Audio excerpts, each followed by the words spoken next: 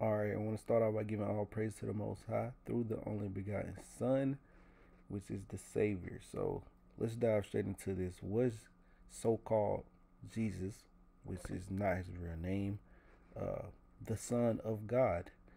Um, and what was he? What is the Messiah? So, first off, the word Messiah or Mashiach means anointed. Also, the word Christ which also means Messiah, means anointed. So, what was the anointed? Was he really the anointed? Was he really God? Let's dive straight into this. So, a question we first have to answer is this. Let's go to the very, okay, let's start off with John 1. In the beginning was the Word, and the Word was with God, and the Word was God. The same was in the beginning with God. All things were made by him, and without him was not anything made that was made. In him was life, and the life was the light of men. And the light shineth in darkness, and the darkness comprehended it not. Right? So in the beginning was the Word. We know what this Word is. That would be so called Jesus. I say so called Jesus because people call him many names. They call him Yahweh. They call him Yeshua. They call him Yeshua. They call him Yahusha. They call him Jehovah. You know, it's many different names, but this particular video isn't about that. So, uh, we know who this is talking about, right? The Son of Yah, the Son of God. So, if you skip down to verse 10, he was in the world, and the world was made by him. Now, let's go to Genesis. The word, the world was made by him. So, this whole Genesis story is talking about the creation, right? But check this out in verse 26. And God said, Let us, wait a minute. Now, if all things were made by him, which is a singular word, why does it say, let us make man in our image? So there's something going on here. We need answers. But don't worry, we're going to answer that this video. But before we answer that, let's continue reading. Let us make man in our image, after our likeness, and let them have dominion over the fish of the sea you know, and so forth. Verse skip to verse 27. So God created man in his wait a minute. So it said us, and now it says his. Mm. So there's one question we, we're gonna answer in this video. Um about this one thing versus the us thing. So let's find out what he is first and foremost. But if you're old, if you only believe in the Old Testament, now you know this word is in the Old Testament, Messiah. Daniel 9 and 25, it speaks of the Messiah coming to restore and to build Jerusalem. Now, there's an argument about if this is about so called Jesus, you know, but ultimately we'll just say Savior. So called not so called, we'll, we'll say Savior. There's an argument that this is about the Savior of the in the New Testament. But this word is clearly here in 9 20, Daniel 9 and 25. So that argument is also about to get answered as well. So let's find out about the Messiah. First of all, we need to know what his church is and who he is and all that good stuff. Ephesians, let's see, where do I want to start? No, First Corinthians 3 and 16. Know ye not that ye are the temple of God, and that the Spirit of God dwelleth in you? If any man defile the temple of God, him shall God destroy, for the temple of God is holy, which temple ye are. So, first of all, you're the house of God. want to make that point. Now I'm going to go to Ephesians 2 and 19 and 20. Now, therefore, ye are no more strangers and foreigners, but fellow citizens with the saints. Saints, which means angels, and of the household of God. Now, remember, you're the household of God. You are the temple of God. Right? And this is to the Ephesians. And are built upon the foundation of the apostles and the prophets. Now, look, once you come into the household of God, you're built upon the foundation of the apostles and the prophets.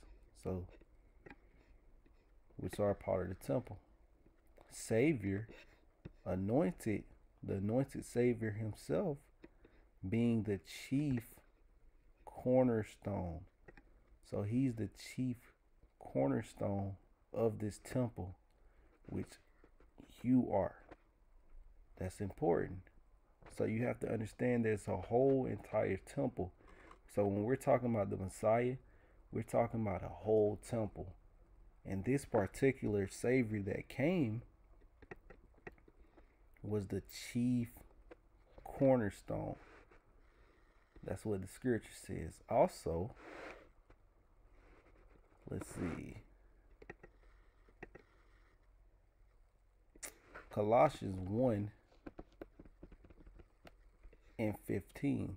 This is about the Messiah, who is the image of the invisible God, the firstborn of every creature.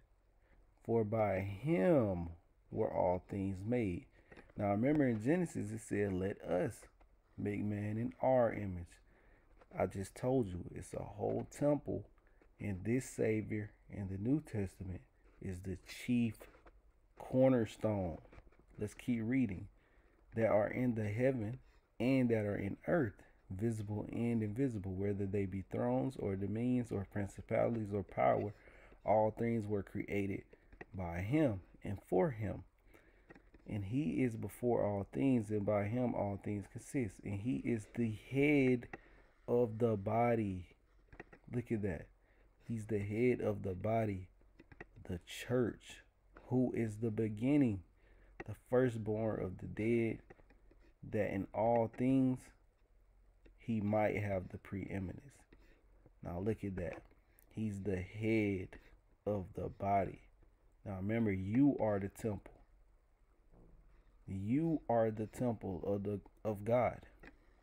And the Spirit dwells in you. So you are the church of God.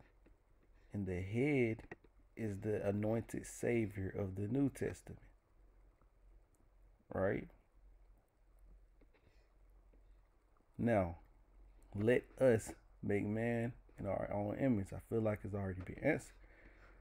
But let's completely answer with this one chapter. This will answer all these questions. All right. Let's start. Let's go to First Corinthians 12 and we'll start at verse 4. Now there are diversities of gifts, but the same Spirit and there are differences of administration, but the same Lord. So check that out.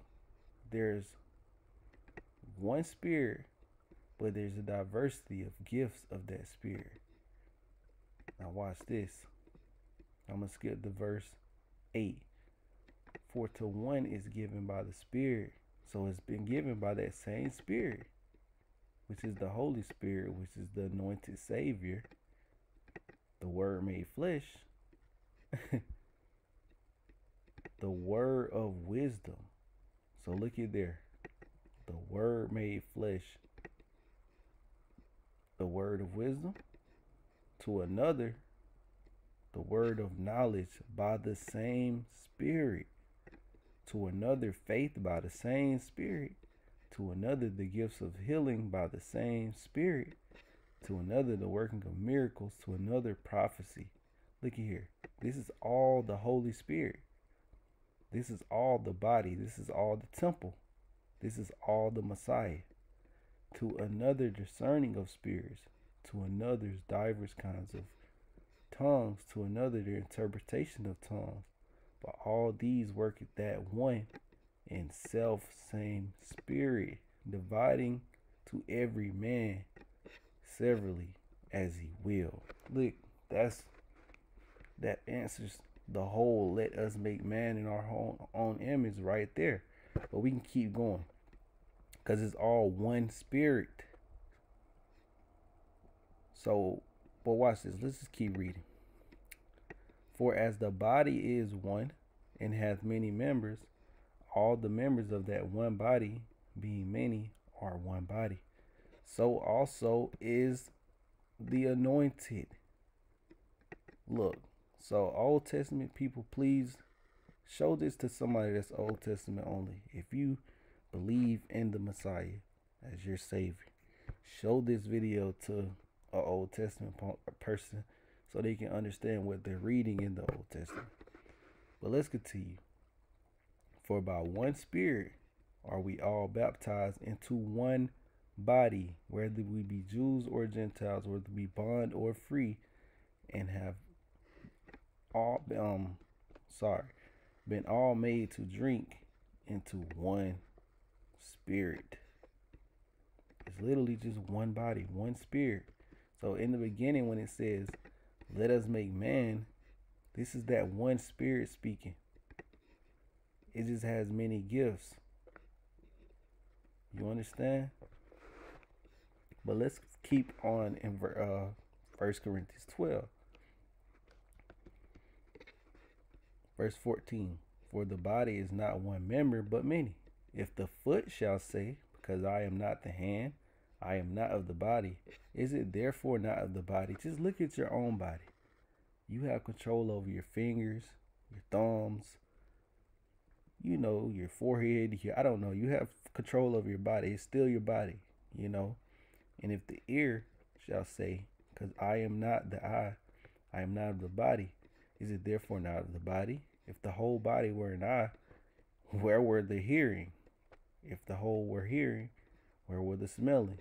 But now hath God set the members, every one of them, in the body as it hath pleased him. And if they were all one member, where were the body? But now are they many members, but yet, yet, but one body. Different members, different gifts. You have understanding, wisdom, faith. They're all called the Messiah. Right? And the eye cannot say unto the hand, I have no need of thee, nor again the head of the feet. I have no need of you. So basically, is one body. And that explains Genesis 1 and 26. That explains the Messiah, what it, what it means, you know. Um, I think I made this video pretty plain. Let me know if you have any questions in the comment section below. Um, if you want me to do a part two, I can go really deep into this. But uh, I think I pretty much answered this. So yeah, let me know your thoughts, and I'm out.